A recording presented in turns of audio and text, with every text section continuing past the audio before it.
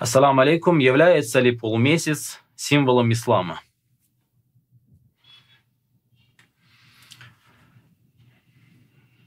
Конечно же, полумесяц, который мы можем а, обнаружить на минаретах мечетей, а, изначально не был, никогда не был а, символом ислама. Конечно, существуют разные версии вообще, откуда этот э, символ появился, как он возник. Но самый такой правдоподобный и самый надежный, кажется, версия о том, что э, после завоеваний, исламских завоеваний, в частности, завоевания Константинополя, то есть современной Турции, Турции, которая была христианской, обращаю ваше внимание, где, естественно, были церквя, и на церквях, как мы знаем, христиане обычно устанавливают кресты. И также мы понимаем, что мечети, которые после завоевания строились, они примерно, наверное, были такими же, как и церкви, то есть по архитектуре.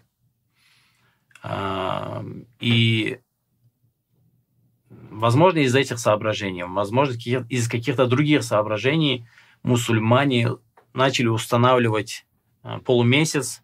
То есть почему именно полумесяц?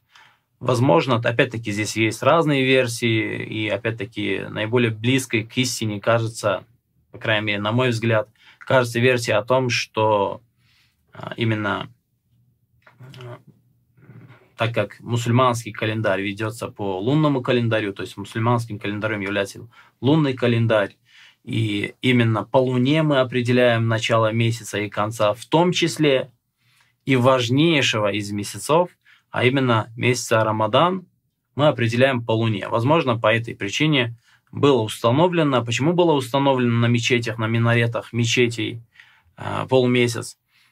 Для того, чтобы э, отличать их от церквей и, скажем так, э, противопоставить, да, своего рода э, противопоставить крестам.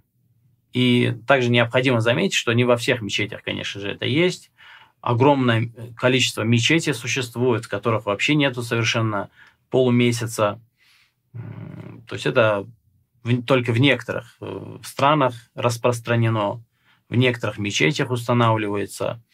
А, видимо, после того, как э, в некоторых европейских странах на мечетях начали устанавливать полумесяца, возможно, это как-то э, начало распространяться по всему остальному мусульманскому миру. А так, само по себе, полумесяц, конечно же, символом ислама не является.